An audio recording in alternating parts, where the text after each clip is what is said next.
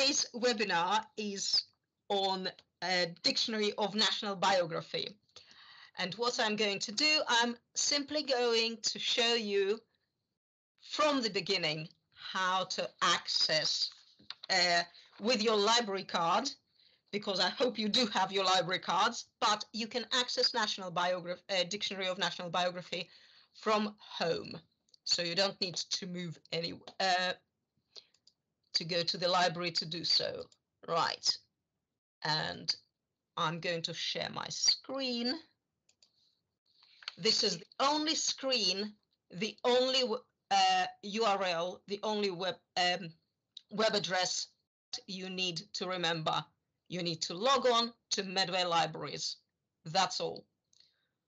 That's the screen that you are getting when you go to the Medway Council's libraries. That's the first screen. As we scroll down, you can see in the middle online library services. And in the middle there, there's family history. We click on that. That brings us to the family history page. We've got three uh, databases here, three resources, but today we're going to concentrate on the Oxford Dictionary of National Biography. So we'll click on that one.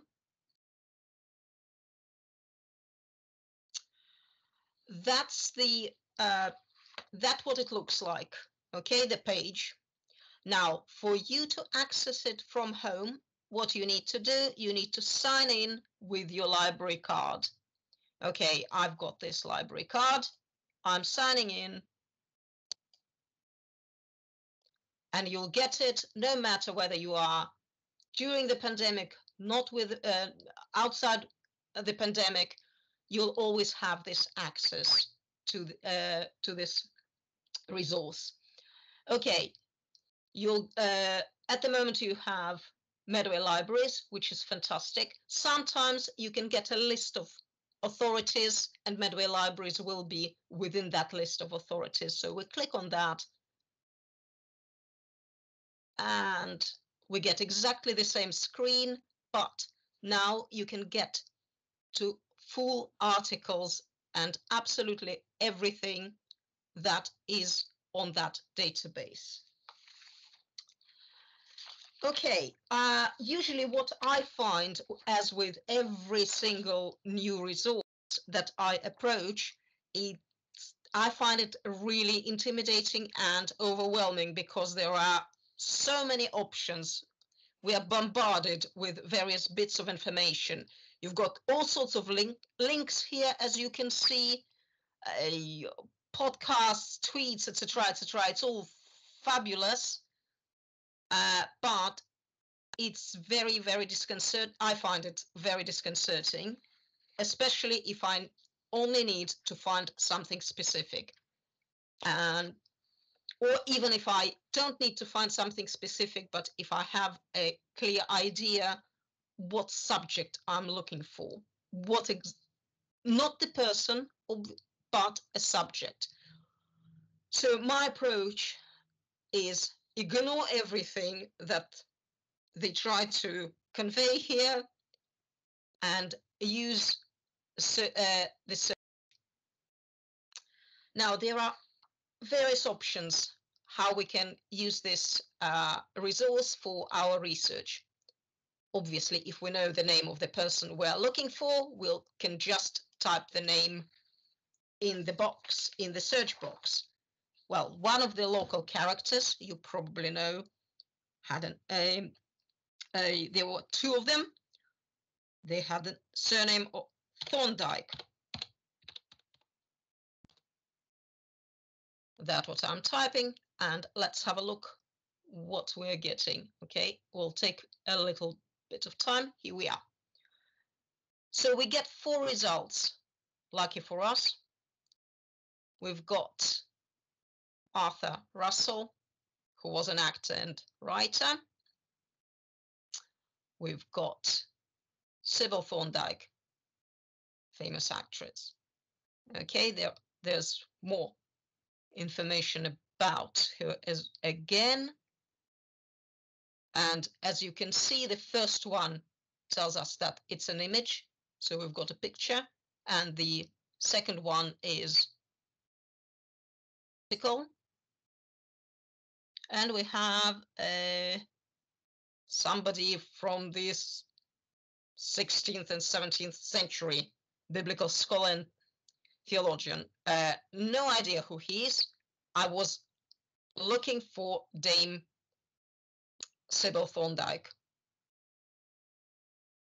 And because we logged in with the library card, we get the full article, including the image. And you have absolutely everything what you would like to know with the sources that information derives from. So it is a reliable source. It also gives you more links if you want to pursue it. For example, if you're doing some serious research with a view of writing a book,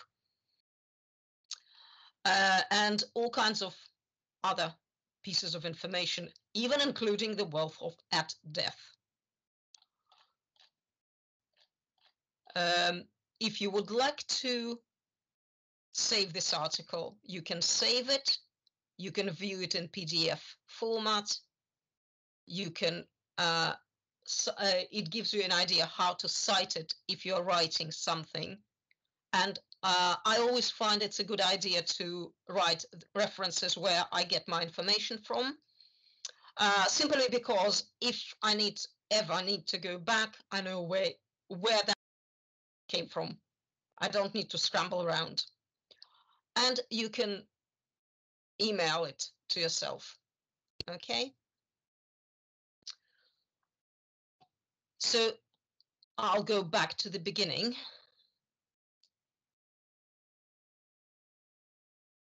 Right, that's fantastic if we know who precisely we're looking for. Well, because I was looking for Sybil Thorndike, I could have put Thorndike Sybil and it would would have come up with two results, her image and the article.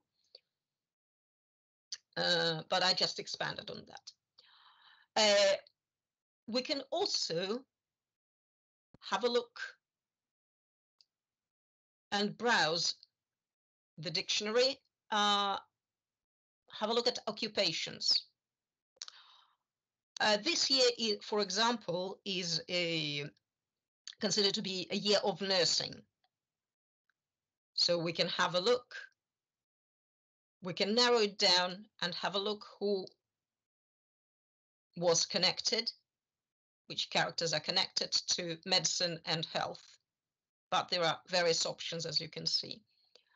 Uh, okay, so altogether we have almost 4,000 results, which is quite a lot. However, as this uh, webinar is about local history, we can try and narrow down the results. For example, we can modify our search. And this is a very useful bit because we can you can uh, you can see that there are uh, arrows going up and down if we click on that, we don't exactly have the, not only have the article title, which is basically the name of the person, but we have all sorts of other options. One of the options is place mentioned. So what have we done so far?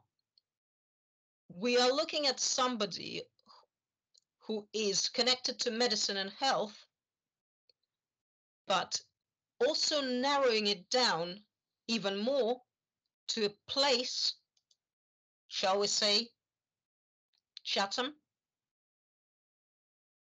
We can add more, more terms, or we can just leave it at that and see how many articles, how many, how many results we get.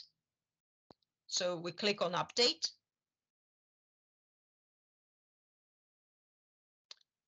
I'll give it a bit of time. Okay, we have 41 results. And out of them, we have 41 articles. As we can see, there is a format, there is a type, they are biographical articles, and we have 11 articles with images. More than that, if we scroll down, we, we can see that we have, out of those 41 people, we have 37 males and four females. And to be truthful, I would skip the last bit. Otherwise, we'll get into too much complication.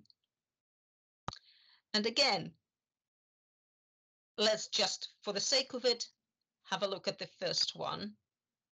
Aitken Sir William, he was a pathologist uh, in the 19th century. You can see immediately in, uh, in this small extract that he was connected to Chatham, Fort Pitt. And if we click and give it another minute, uh, half a minute even, okay, we get, uh, okay, that's a much shorter article, but it's still an article. It gives you an idea. Uh, and, or at the very least, it gives you a start.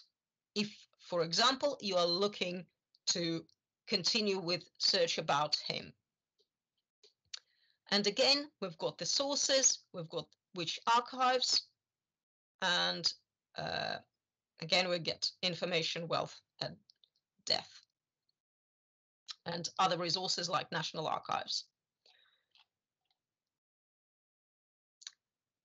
Alternatively, we can look at the religious affiliation if we would like to uh, narrow it down instead of occupation.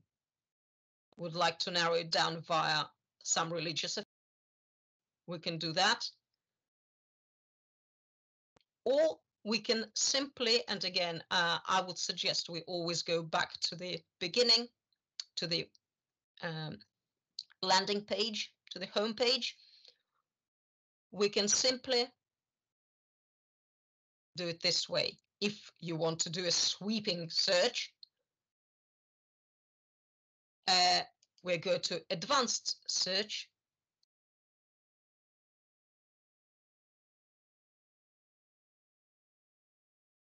And it brings us to the same column on the left, which allows us to search full text, to look the person's name mentioned, aristocratic title, and place mentioned. To be truthful, uh, I even wealth of death. If you want to see how many people had two thousand pounds when they died, feel free to uh, to check that.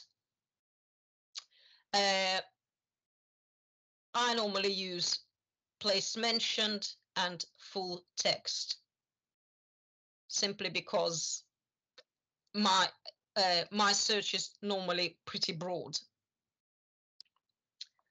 Well, let's have a look at the, let's try and answer an interesting question like, who was the actor and singer who made their professional debut at Chatham Music Hall in 1914? That's a pretty complicated question, but we can just divide it into the important bits, into the words which will help us, keywords which will help us to find the right answer. Okay. We do have an actor and singer, so we can narrow it down, or we can not bother with it. It's entirely up to you we can simply go for full text and put the word actor. Then we add another term, which means the search engine will have to find both terms in the same article in order to give you the result. What else is important? Well, the place is important because it's Chatham.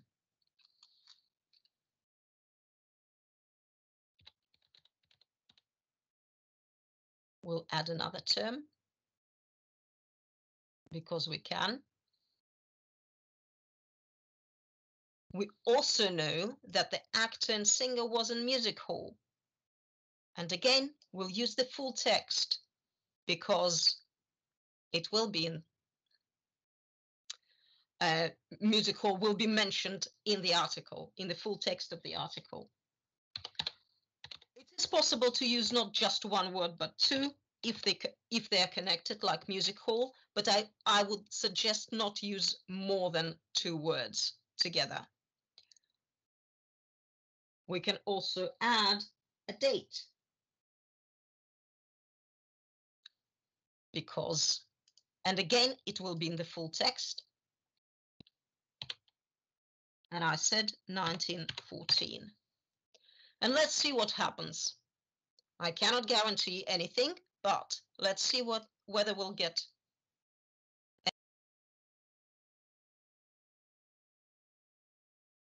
Okay. That is interesting because here we get two results. But do we have 1914? Right. We've got Peter Rogers, who was born in 1914 at 114 Rainham Road, Chatham. Well, that doesn't help, does it? So something we've done was not right. If that happens, and that might happen a lot, and it's perfectly fine, we need to widen our search. And to widen our search, I would suggest, okay, uh, also I need to digress a little bit. What does that mean? That means that the search engine found that all these words like Chatham, actor, music hall, and 1914 were in the article, in each article, but it doesn't answer our question. They are not connected the way we wanted. So what we'll do, as I said, we'll narrow, uh, well, sorry, we'll widen the, the the search. Okay, let's see whether this helps and how many we get. Okay, we got nine results.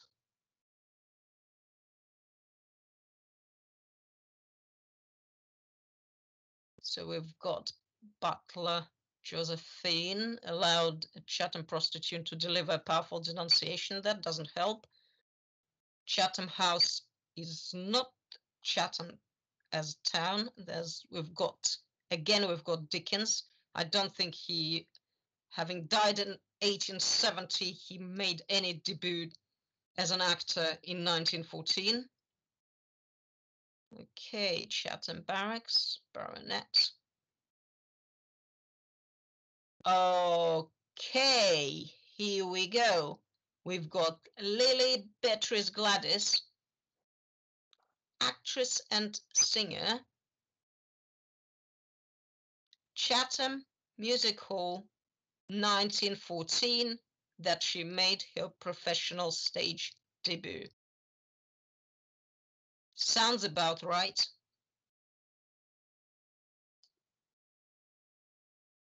That's the answer to our question we get the full article with all the information and an image.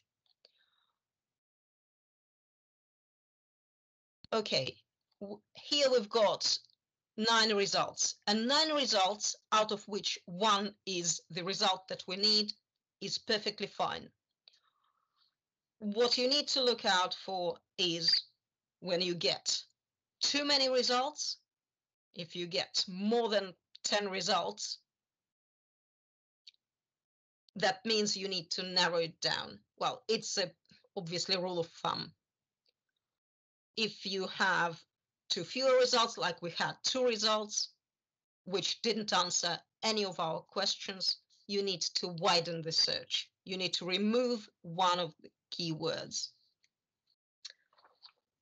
And that's basically it. So we've found our search, We've found our information, we can now do whatever we want with it. And then we can continue.